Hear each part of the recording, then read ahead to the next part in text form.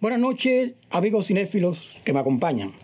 Yo soy Segundo Rodríguez, comentarista de cine, y hoy quiero hacerles un comentario de una película que se enmarca en el género de llamado cine del oeste.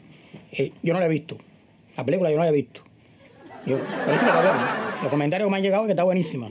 Eh, yo voy a comentar lo que me han dicho. Yo comento los comentarios. Bueno, bueno. Dicen que está buena. Se llama El Pequeño Pan. Cuenta la historia de un niño que se llamaba Pan. Era pequeño y redondo pero siempre fue un niño rebelde, porque no tuvo una buena crianza, no tuvo una buena formación. Pan no se formó bien, porque su madre, Harina, aunque era una mujer suave, nunca le daba pan la cantidad necesaria de cariño que el niño necesitaba. Su padre, un tipo muy popular, nunca lo dejaban llegar a donde estaba Pan. Él siempre estuvo en los grandes eventos, pero con Pan nunca estuvo. Tú nada más oías, ¡ay, viene aceite!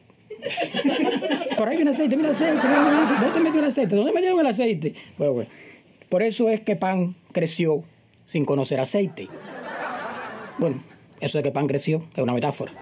Pan nunca creció. Pan siempre fue de ese tamaño. Y por esta propia situación familiar en que se encontraba Pan, nunca tuvo unas manos que lo moldaran bien. Tuvo un carácter duro. Él era duro. No, estoy hablando de la corteza, adentro, adentro, era duro. Era duro, por donde tú lo cogieras era duro. Y, ese carácter duro lo hacía que la gente se alejara de él. Siempre estaba solo. Era pan duro y solo. No era fácil aquello. Dice que está buena, la película dicen que está buena, yo no la he visto, pero bueno, vamos a ver. Y la gente decía que producto de ese carácter también era pesado, un poco pesado. Bueno, eso también es una metáfora, porque Pan nunca tuvo el peso requerido para un niño de su edad. Así que trajo problemas, esto le trajo problemas a Pan, que era pesado, era a veces hasta ácido, no había quien se lo tragara, porque... El argumento del filme es sencillo. Hay un guerrero que llega a la aldea donde vivía Pan, donde vivía pequeño Pan, olía el Pan, como también se conoce en otras latitudes, eh, y quería coger a Pan y derrotarlo. Por eso lo cogía y lo guardaba para cogerlo al otro día cansado. Pero Pan no se lo puede dejar para el otro día. Porque ahí era donde se enfurecía se ponía hasta verde de la incomodidad que cogía. Ese era Pan, el protagonista de esta eh, película. La banda sonora fue muy bien, muy, muy, muy. La crítica eh, elogió mucho la banda sonora porque la música, la verdad que la música te mata, te mata. Pam, pam, pam, pam, pam, pam, te mata. La música te mata. Un filme muy conmovedor, El Pequeño Pan, un filme conmovedor.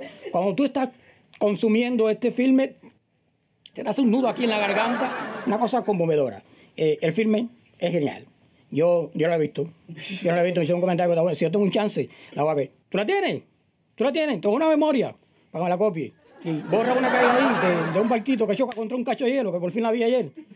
Bórrala. Al final no es nada. Amigos televidentes, hasta aquí la sesión de cine con Segundo Rodríguez. ¿La tiene? ¿De verdad la tiene?